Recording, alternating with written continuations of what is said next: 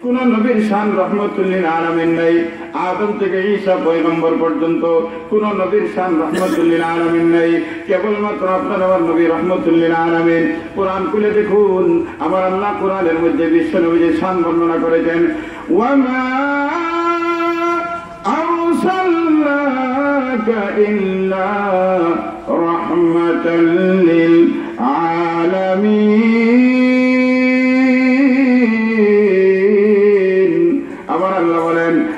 বন্ধু মোহাম্মদ রসুল্লাহ সাল্লাহ আলী সাল্লামকে পুরা জগতের জন্য শুধু দুনিয়াবাসীর জন্য নয়, কবর জগতে হাসর জগতে, এমনকি জান্নাতের মধ্যে আমার নবী রহমতুল্লিল আলমী এখন এত দয়াল নবী, এত দয়াল নবী, যে নবীর শরীর মুবারক থেকে রক্ত বের হয়েছে, তাই ফের কাফিরের বাচ্চারা পাথরের আঘাতের মাধ্যমে আমার নবীর শরীর মুবারক থেকে রক্ত বের করেছে। আমার নবীর শরীর মুবারক থেকে রক্ত বের হয়েছে। জুতা মুবারক পর্যন্ত গর্ত হয়ে গেছে। এরপরে ফেরেস্তারেও আসে বলল ইয়ার সুরাল্লাহ অনুমতি দান করুন যেন পাহাড় একত্রিত করে মানুষগুলিকে এই মানচিত্র থেকে বিদায় করে দেই। আমার নবীজি জবাব দিলেন, আমি গদব হিসাবে আসি নাই। আমি রহমত হিসাবে এসেছি। আমি দোয়া করি, ও মালিক আল্লাহ ও মালিক, আমার উম্মত বুঝে নাই, জানে নাই ছেড়ে নাই, তাদেরকে তুমি হেদায়ত দান করো। এই- নবী রহমতুল্লিল আলামিন, ও নবী বলেন, এই নবী অভিশাপ দেন। সুদকুর ঘুষকুর সুদ করলে উপর শুধু নয়, সুদের লাইনে সাতজন ব্যক্তির উপর আমার নবীজির লাড়ব দেন। এমন একটা গুণা যে গুণার মধ্যে একসাথে পাঁচজন গোল্ডেনে প্লাস হয়ে গুণাগার আসামি, দুনিয়ার মধ্যে এমন কোন গুণা নাই যে গুণার মধ্যে পাঁচজনের সাথে আসামি হয়। কেবলমাত্র একটা গুণা, সুদের গুণা, ঘুষের গুণা, একসাথে এক সমান গোল্ডেন এ প্লাস হয়ে পাঁচজন সমান আসামি। লানা রসুল্লাহ সাল্লাল্লাহু আলাইহি ওয়াসাল্লাম আলা আকিলার রিবা ওয়া মুকিলাহু। বিশ্বনবীজি বলেন, বিশ্বনবীজির অভিশাপ, ঘুষ, সুদ খানেওয়ালা ও মুকিলাহু সুদ দেনেওয়ালা, সুদ খানেওয়ালা ও কাতিবাহু মরির যিনি সুদের ব্যবসাটা লেখালেখি করবে ও শাহিদেহি চার নম্বর আসামি, এক নম্বর সাক্ষী, পাঁচ নম্বর আসামি, দুই নম্বর সাক্ষী, এই পাঁচজন একজন সুদ খানেওয়ালা, দুই নম্বর সুদ দেনেওয়ালা, তিন নম্বর সুদের লেনদেন লেখনেওয়ালা, মোরের আর চার নম্বর, এক নম্বর সাক্ষী, পাঁচ নম্বর, দুই নম্বর সাক্ষী, এই পাঁচজনের উপর এর সাথে আমার আমার নবী, আপনার নবী অভিশাপ দান করেছেন। আল্লাহ আকবর আল্লাহ আকবর। আল্লাহ, তুমি হেফাজত ফরমাও, সবাই বলেন, আমিন। এখন সুদকুর কারা সুদ খায় যারা, সুদ দেয় যারা মরিদ লেখালেখি করে যারা সাক্ষী দেয় যারা এক নম্বর, দুই নম্বর। এরা হলো সুদকুর এরা হলো সুদকুর্মী এখন আসুন ঠিক তেমনি ভাবে ঘুষের ব্যাপারে। ঘুষটা হয় বেশিরভাগ উপর লেভেলে ঠিক না? গরিব গুরেবার মধ্যে ঘুষের লেনদেন হয় না। ঘুষের লেনদেন হয় উপর দিয়ে। আমার দেশের যত উপরে উপরস্থ অফিসার, যত ধরনের সেক্টর আছে সবগুলির যত উপরে যাবে, যত উপরে যাবে, যত পদে যাবে, সবগুলি পদের মধ্যে গুছের লেনদেন হয়। এমনকি একটা মানুষ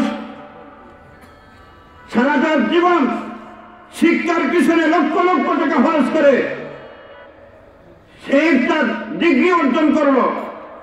কিন্তু ওই ডিগ্রিধারী ছেলেটা, যুবকটা একটা চাকরি নেওয়ার জন্য স্বাভাবিকভাবে চাকরি সম্ভব হয় নাই। এই চাকরির পিছনে লক্ষ লক্ষ টাকা ঘুষ দিতে হয় টেবিলের নিচ দিয়া। ঠিক না? এই টেবিলের নিচ দিয়া যে পয়সাটা দেওয়া হয় রাত্রের অন্ধকারে যে পয়সাটা দেওয়া হয় বাম হাতে যে পয়সাটা দেওয়া হয়, যে পয়সার বিনিময় আপনার ফাইল নড়াচড়া করে, যে পয়সার বিনিময় আপনার চেয়ার বরাদ্দ হয়, যে পয়সার বিনিময় এমপিগির টিকিট দেওয়া হয়, যে পয়সার বিনিময় চেয়ারম্যানকে টিকিট দেওয়া হয়, যে পয়সার বিনিময়। আপনার কেস স্টাইল উঠে, যে পয়সার বিনিময়। আসামির কাঠগড়া থেকে আপনাকে মুক্তি দেওয়া হয়। ওই পয়সা দেনেওয়ালা হলো ঘুষ দেনেওয়ালা যে গ্রহণ করে, সে ঘুষ খানেওয়ালা যে মরি লেখালেখি করে, সে মরি। আমার যে সাক্ষী যে, এক নম্বর সাক্ষী, দুই নম্বর সাক্ষী, এইরকম সবগুলি আসামি সমান। এদের উপর নবীদের অভিশাপ। এখন আপনারা মনে করবেন এই ঘুষ আর সুদের ব্যাপারে আপনি বলছেন পাঁচজন লাগে। আমাদের সমাজে এখন ডিজিটাল যুগ চলতেছে, এখন পাঁচজন লাগে না, মোটামুটি দুইজন হইলে খাম সারি যায়। ঠিক না? বলে লেখারও দরকার হয় না, সাক্ষীরও দরকার হয় না। আমরা তো দুইজন, তাহলে মোটামুটি পাঁচজন থেকে দুই তিনজন সরে গেলে আর মনে হয় অভিশাপ না। বলে তাহলে সুদ খাওয়া আর সুদ দেওয়া দেনেওয়ালা, ঘুষ খাওয়া আর ঘুষ দেনেওয়ালা, এই দুইজন তো এখনও বাকি আছেন। ঠিক না? এই জন্য অভিশাপটা এখনও কি আছে? বাকি আছে এই জন্য আমার আল্লাহ বলেন প্রথম অংশে الذين يأكلون الربا মুফসিরিন কেরাম এই অংশ থেকে বের করলেন সুদ কি সুদকুর কারা সুদকুর কারা সুদ কত প্রকার এবং কি কি তার পরিচয় কেমন সবগুলি আলোচনা করলেন সর্বশেষ একটা কথা الذين يأكلون الربا আকালা ইয়াকুলু আরবি গ্রামার হিসেবে এখানে খাওয়ার দরকার হয় এখন হুজুর আমরা ঘুষ খাই না বলে তো কি করো বলে আমি তো ঘুষের পয়সা দিয়ে আমি গাড়ি কিনি সুদের পয়সা দিয়ে আমি বিল্ডিং বানাই সুদের পয়সা দিয়ে আমি বাড়ি বানাই সুদের পয়সা দিয়ে আমি টাওয়ার বানাই ঘুষের পয়সা দিয়ে আমি আপনার আরও বিভিন্ন ধরনের কাজ করি, আমি ঘুষের টাকা খাই না, ঘুষের সুদের পয়সা খাই না, তাহলে তো আমার এগুলো তো কোনো অসুবিধা হবে না। বলে দলিল কি? বলে দলিল আল্লাহ কোরআনে বলেন, আল্লাযীনা এখানে সুদ খাওয়ার কথা বলছেন। আমি খাই না, বিলে আমি আসামি নয়। কিন্তু ও মুসলমান, কোরআন যেভাবে সাদা দেখা যায় এমন নয়। কোরআন এমন একটা কিতাব, সাদা চশমা লাগাইলে সাদা দেখা যায়, সবুজ চশমা লাগাইলে সবুজ আপনার দেখা যায়, আবার কালো চশমা লাগাইলে কোরআন কালো দেখা যায়। এখন রিবা, আকালা ইয়াকুলুর বেকটা মুফাসসিরিন কেরাম কি করেছেন দেখার দরকার? এখন মুফসিরিনে কেরাম বলেন আকালা ইয়াকুলে এখানে খাওয়া দাওয়া না, এখানে হইল তসররূপের ব্যাপার। আপনার কর্তৃত্বের ব্যাপার, সুদের পয়সার উপর কর্তৃত্ব। ঘুষের পয়সার উপর কর্তৃত্ব। এবার আপনি সুদের পয়সা দিয়ে গাড়ি গাড়ি কেনেন, গাড়ির উপর আপনার কর্তৃত্ব আছে। সুদের পয়সা দিয়ে বিল্ডিং বানান বিল্ডিং এর উপর আপনার কর্তৃত্ব আছে। সুদের পয়সা দিয়ে আপনার রাস্তা বানান, রাস্তার উপর কর্তৃত্ব আছে। সুদের পয়সা দিয়ে টিউবওয়েল আপনার পানির ব্যবস্থা করেন, এটার উপর কর্তৃত্ব আছে। ঘুষের পয়সা দিয়ে আপনি বিল্ডিং বানান, ওই বিল্ডিং এর উপর কর্তৃত্ব আছে। যখন কর্তৃত্ব যেখানেই থাকবে, সেখানেই সুদ গ্রহণকারী, সুদ গ্রহিতা সুদ দেনেওয়ালা সুদের বাড়ি সুদের সাক্ষী এক নম্বর দুই নম্বর সবাই এক সমান গুণাগার তাহলে তো এখানে খাবার আর দেওয়ার দরকার হয় না যেখানে কর্তৃত্ব হওয়া যাবে যেখানে তসরুফ হওয়া যাবে বস এখানে আপনি গুণাগার এখন প্রথম অংশ আমার ছিল الذين يأكلون الربا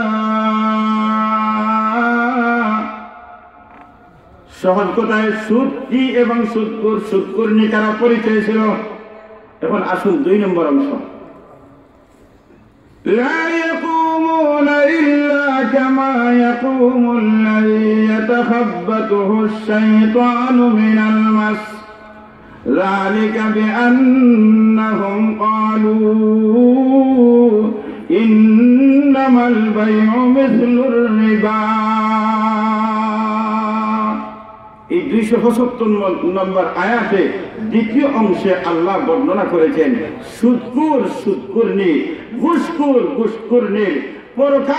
পরিণাম, শাস্তি কি? এর শাস্তির বিবরণ দিয়েছেন আমার আল্লাহ দ্বিতীয় অংশ। ও মুসলমান, খুব ভালো করে বুঝেন। এ সুদকুর ভাইরা, এ ঘুসকুর ভাইরা, এ সুদকুর্নি মা এ ঘুসকুর্নি মা বোনেরা, আপনাদের মনের কান দিয়ে শুনেন, পরকালীন আপনাদের কি পরিণাম? আল্লাহ বলে